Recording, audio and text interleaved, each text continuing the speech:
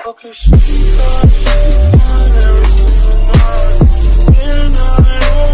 teammate, masabi mo lang doon. Wala, lambingan lang din yun. Oo nga, wala lang yun. Uh, kala mo naman na... ano lang nga, ah, natural lang sa amin yun. Wala talaga yun. Lambingan lang talaga. Ah, dati naman kay teammate. Oo, dati kami teammate eh. Hmm. Tapos ano pa pa rin nga, ah, about the game. Oo. About tonight, 5 game winning streak natapos. Hmm. And in such a bad fashion, kung masabi nyo lang sa naging gabi nyo.